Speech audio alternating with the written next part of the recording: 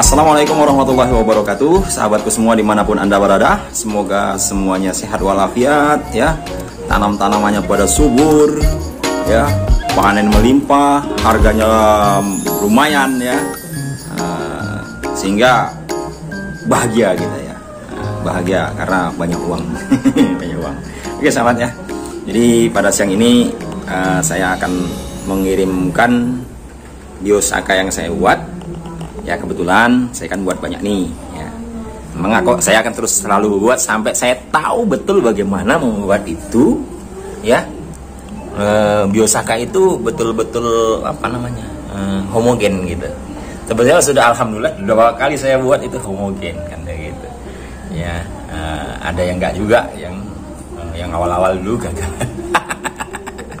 Ajar lah ya kan masih awal-awal gagal ya. Cuman kan ini masih ada PR yang banyak PR-nya apa? E, bagaimana pengaruhnya terhadap tumbuh-tumbuhan yang ada? Kan sebuah semua karakter tumbuhan kan nggak sama juga, jadi dosisnya nanti berbeda. Nah, itu itu itu harus bukan saya saja, teman-teman juga harus bikin data gitu, semprot, bikin dokumen. Isu minggu besok gimana, sumber kedua sampai nanti sampai mana, kan begitu ya walaupun kan e, sudah ada berita atau yang disampaikan sampaikan oleh Mas Ansar beliau itu sampai sudah 10 tahun.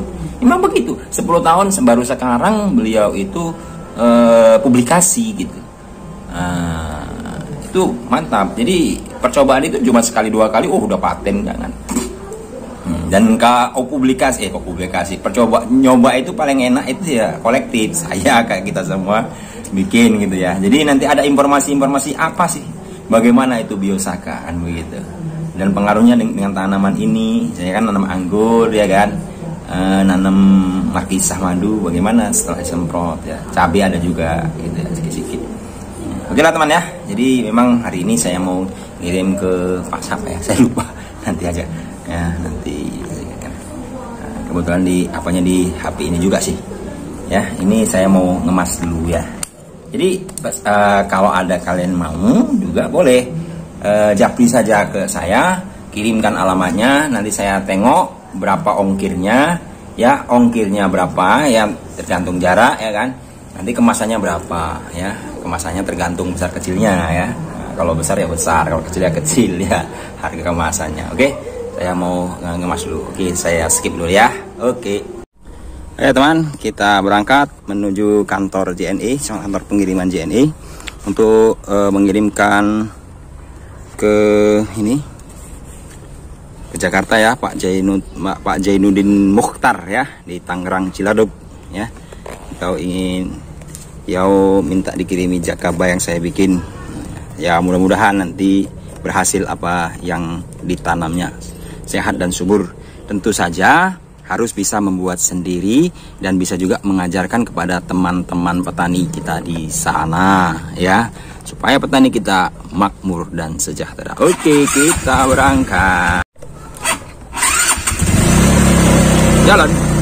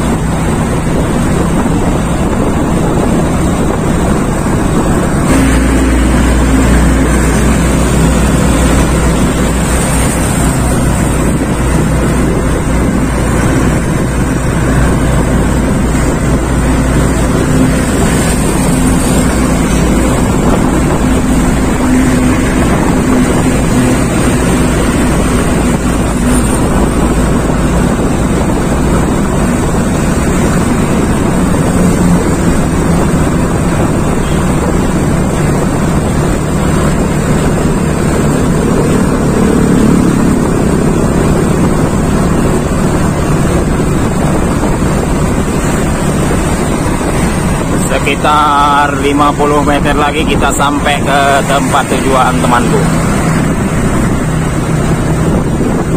Di sebelah kiri pas ada mobil yang porte parkir itu. Ada mobil box itu udah iyalah.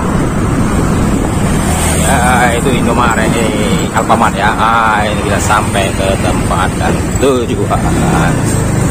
Oke. okay.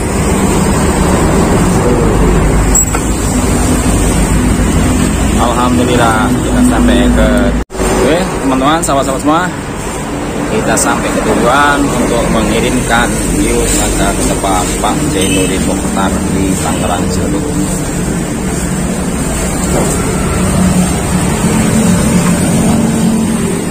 Assalamualaikum. Mana nih?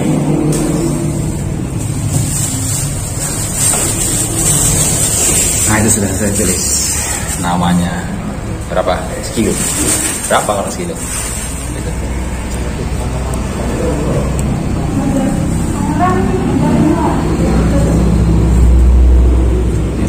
ini ramuan Osaka siapa yang mau insya Allah kita kirim.